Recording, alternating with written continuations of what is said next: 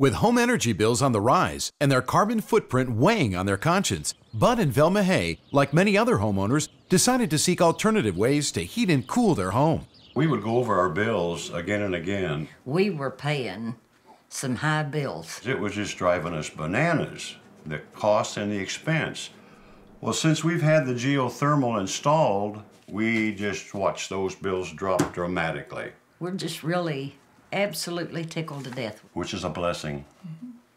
It sure is. WaterFurnace geothermal systems use solar energy that's stored year round just beneath the Earth's surface. They use a series of water filled pipes buried underground that attach to a heat exchanger. In heating times, the system uses stored solar energy to produce heat for the home. In the cooling season, heat is removed from the home and deposited back into the earth.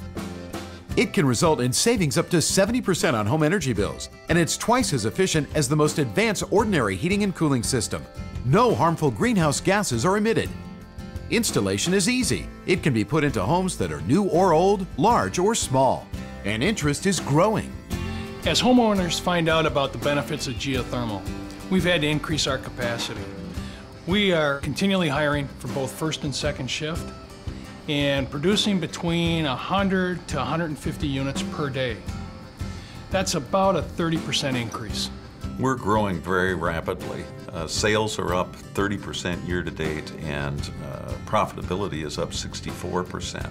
I think that's evidence of the, the need on the part of consumers for an environmentally friendly solution and one that's affordable. Some states and utility companies even offer incentives to homeowners who choose geothermal technology for heating and cooling their homes. For more information, visit waterfurnace.com.